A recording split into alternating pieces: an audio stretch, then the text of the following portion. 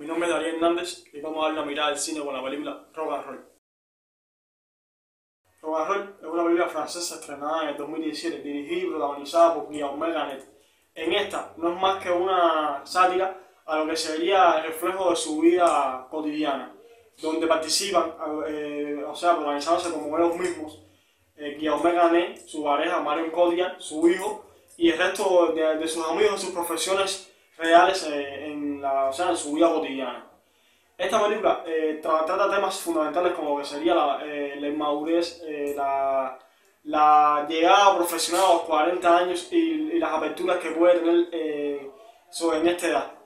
Como también las formas en que la vida cambia para uno cuando, cuando, está, cuando está estable con cierta persona y la, y la forma en que extraña su juventud.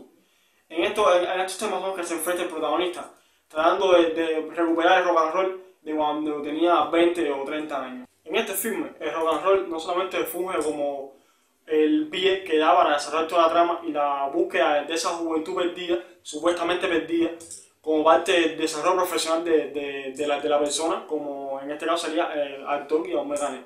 También funge para cambiar técnicamente el desarrollo de la película. ¿A qué me refiero?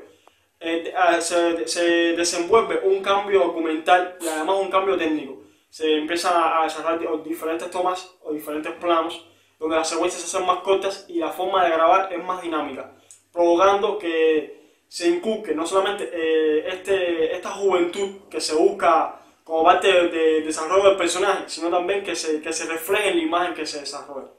Esto es algo curioso de destacar, ya que el, el rock and roll como tal es el concepto de la juventud alocada que puede tener un actor en, o sea, en, sus principios, en sus comienzos como actor en su profesión como tal.